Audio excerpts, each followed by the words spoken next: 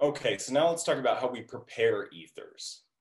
Uh, the, the most common way is to just take a sample of alcohol, uh, so for example, ethanol, and add in a little bit of acid catalyst. So for example, um, you know, I don't know, some sulfuric acid, add a few drops of sulfuric acid, and that'll catalyze a reaction between those alcohol molecules. So let's see what happens here. What do we think is gonna happen when we have an acid catalyst and an alcohol? Hopefully you guys have had this drilled into your head that the oxygen on the alcohol will go and accept that proton in a proton transfer reaction, right? And what is the whole point of that? Same as it's always been, that now makes that alcohol group a good leaving group and leaves the alpha carbon susceptible to nucleophilic attack. All right, so we protonate that alcohol group just like we've seen over and over and over again for reactions of alcohols in the presence of acid. And then what's gonna happen is that nucleophile that's gonna do the attacking is just another alcohol molecule that's floating around in solution, right? So another ethanol molecule will reach around and play the role of a nucleophile, attacking that electrophilic alpha carbon and kicking off that water leaving group. Okay, so first step would be a proton transfer, and then you have this SN2 style nucleophilic attack. This leaves us with this protonated ether here. So what's gonna have to happen? Some base is gonna come along and receive this proton. If you have a big solution of alcohol, it's probably gonna be another alcohol molecule.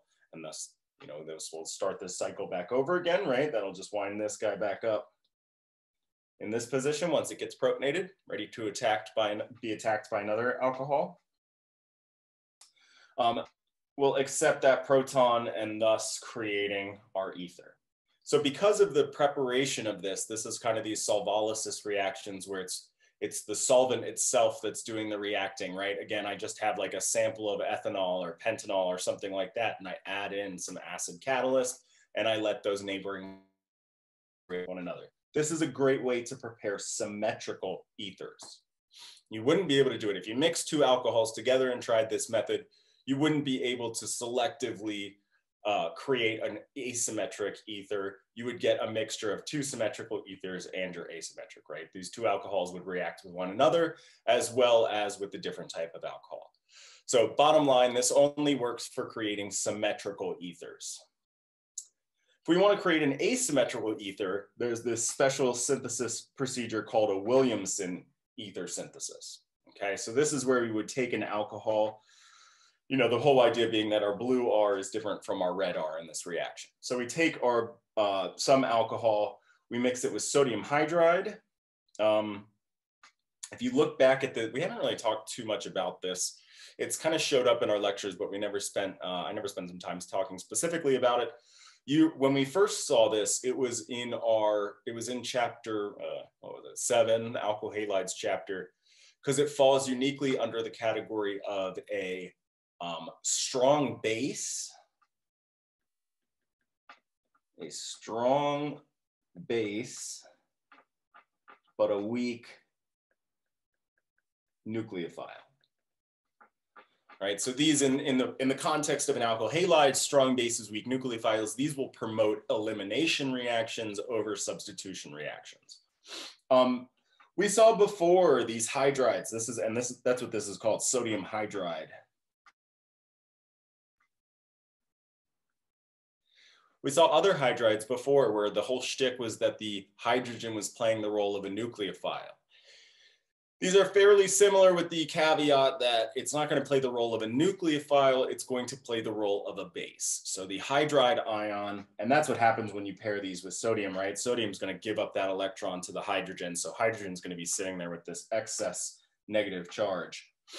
And these react, these hydride ions react with acidic protons. And they're really strong bases. So we don't really think of alcohols as being all that terribly acidic. We know that the protons can be removed with a strong base.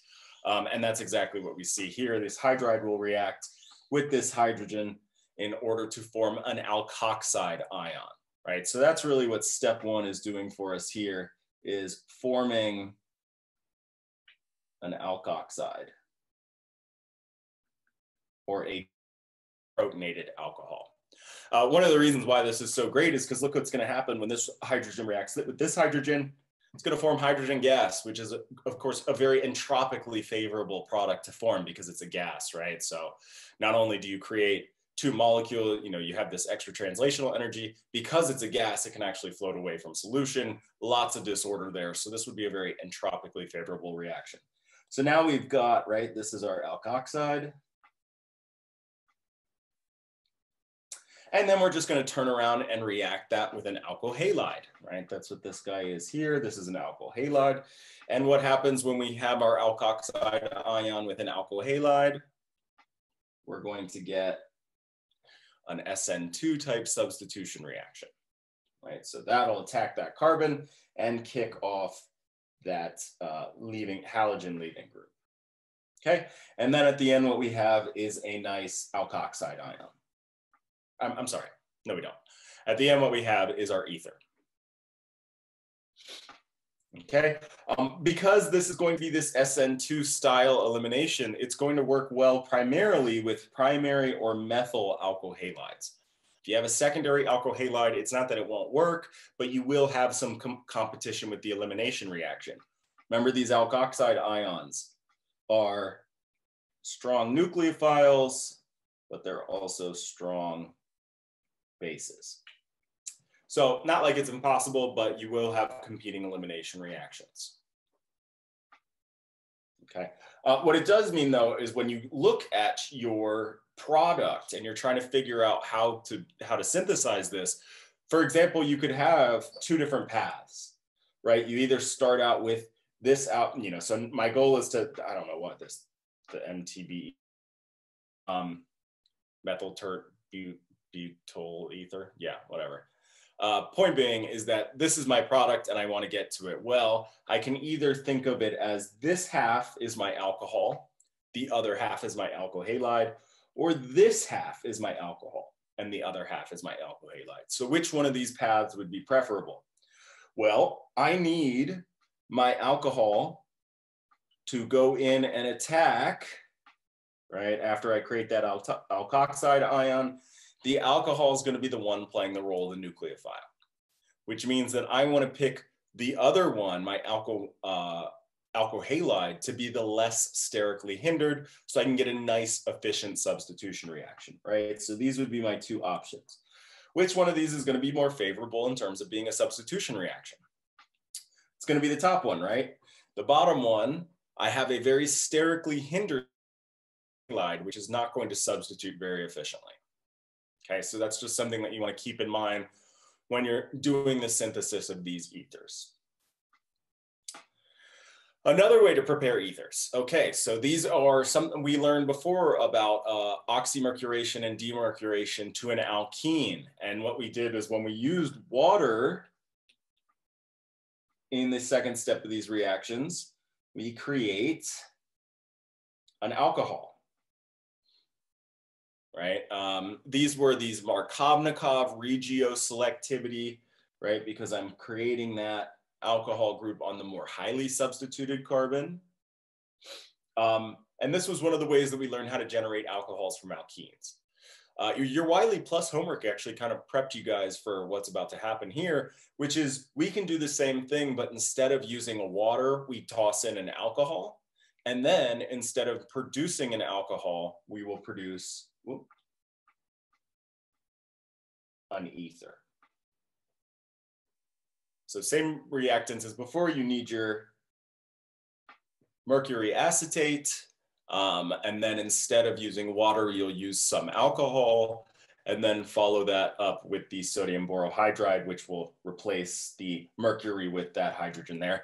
This wasn't one where we, I made you uh, learn the reaction mechanism, other than to note that A, it is Obnikov, also an anti-addition.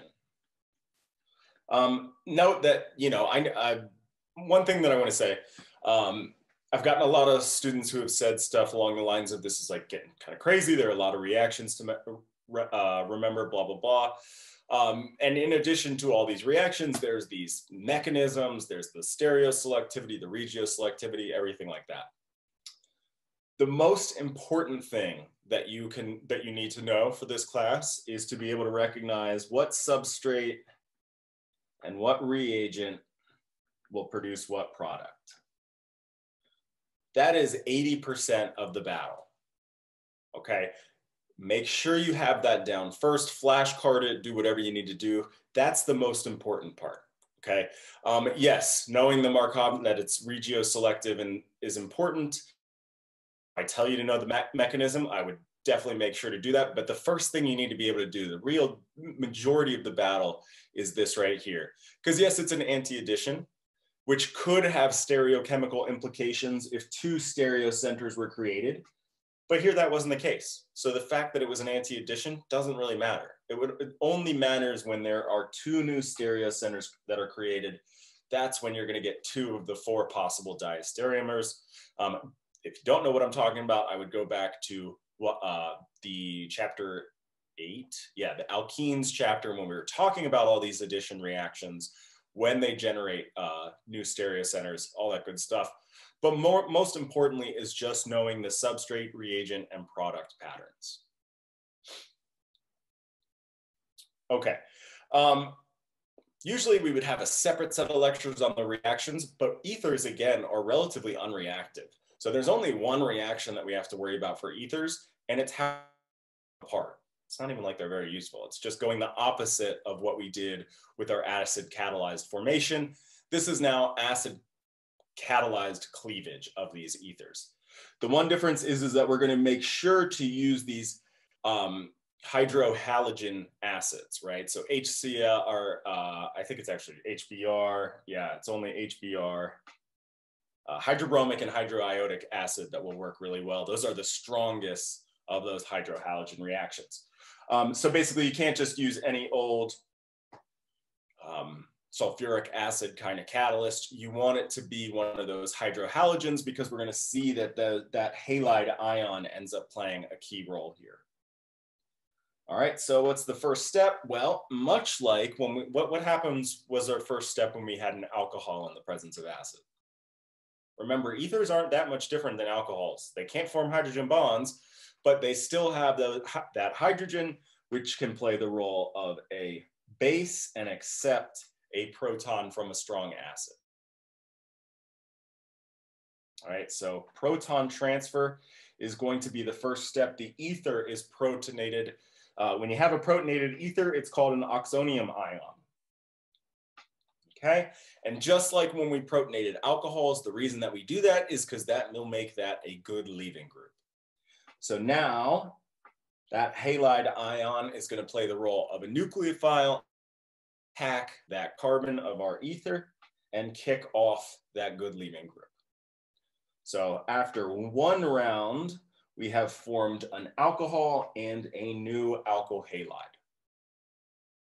Okay, uh, and then we can do one more step. So what happens when we have an alcohol in the presence of an alkyl halide? Uh, not an alkyl halide. Uh, you know, hydrobromic acid, hydroiodic acid.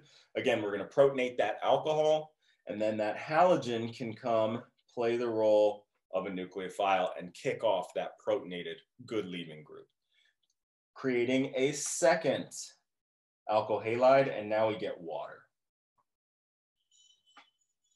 Okay, um, like I said, this works with hydrobromic and hydroiodic uh, acid the best. Those are the stronger acids. Um, this will be an SN2 mechanism if you have a primary or secondary R group.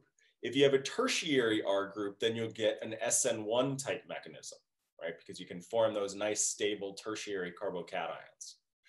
One thing we do, one thing to keep in mind though, is because it relies on a substitution, your R group has to be a substitutable carbon, an sp3 hybridized carbon.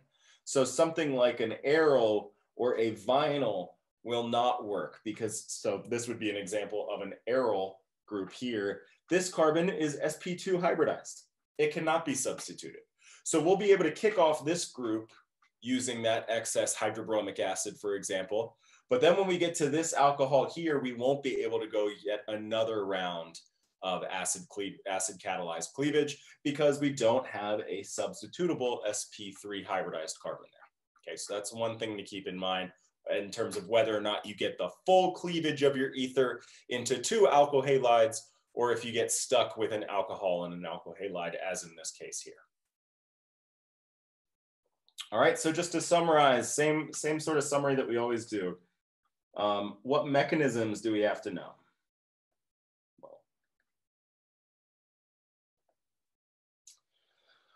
Um, we want, you want to know the mechanism for the acid catalyzed formation as well as the acid catalyzed cleavage of these ethers. And I also want you to know the mechanism for the Williamson synthesis of ethers, right? How we form our asymmetric ethers. You don't have to know the mechanism for the oxymercuration. It's actually called an alkoxymercuration when it's an alcohol that you use instead of water, but whatever.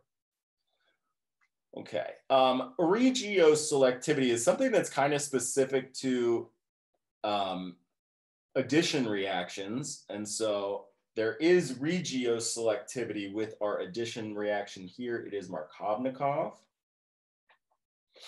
Um, the other thing that I will say, it's not quite regioselectivity, but I, I want to put it in here anyway as a reminder, and that is with regard to the Williamson synthesis and the difference between the two R groups.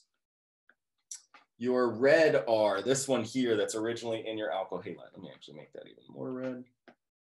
The red R of the alkyl halide should be easily substitutable. Right, so first of all, that means it has to be sp3 hybridized and then methyl is better than primary, is better than secondary, and tertiary is just not going to work. Okay. Um,